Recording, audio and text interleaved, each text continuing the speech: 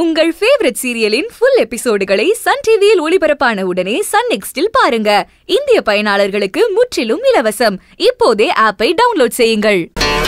அப்பதான் நாற்பது பர்சன்ட் ஷேர குணசேகரன் மாமாவுக்கே திருப்பி கொடுக்கறேன்னு சொன்னதும் ரேணுகா அக்காவும் நந்தினி அக்காவும் கவலைப்பட்டாங்க. பணத்துக்காக இல்ல பலத்துக்காக.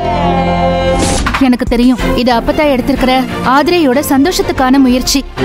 சந்தோஷமா? முயற்சி தானே? எடுங்க எடுங்க. முடிவை நான் எடுத்துக்கிறேன்.